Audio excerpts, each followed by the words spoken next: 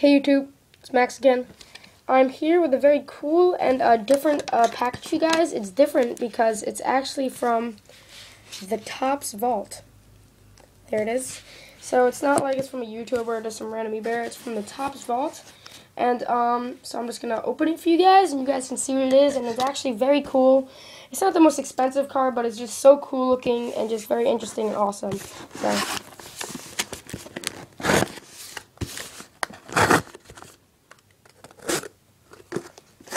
wait a second, guys. I think I got it. There we go. I got it open there. Pull this cardboard stuff out. Put that to the side. That is actually the card. And um, I got the price thing here. But um, here is a really cool certificate of authenticity. It's just so cool and awesome. This is what it looks like, if I can get it out. There it is, certificate.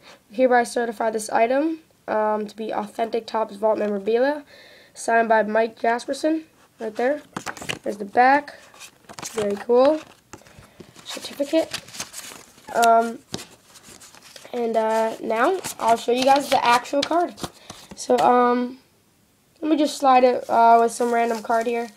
Um, so I'm just pulling it out of its little packaging right here.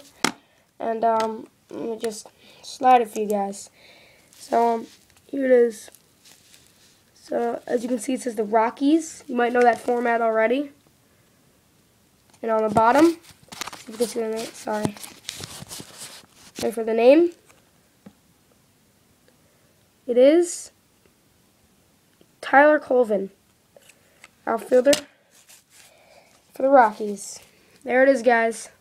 Now, it just looks like a regular base heritage card, but for you guys, uh, for you guys who've like studied up on your heritage cards, you might know that it is a one of one.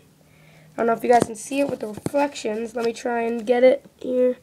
There it is, Topps Vault one of one. It's very cool, and because it is a blank back, if you guys didn't know, nothing on the back. Um, it looks like a regular phone, but um, it's just very cool.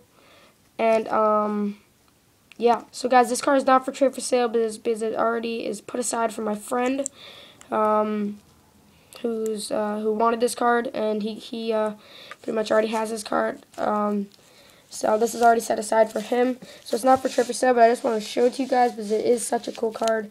It is a package from the Topps Vault. So there's the back again. Very cool. And um, yeah. So guys, thanks for watching my Topps Vault mail day.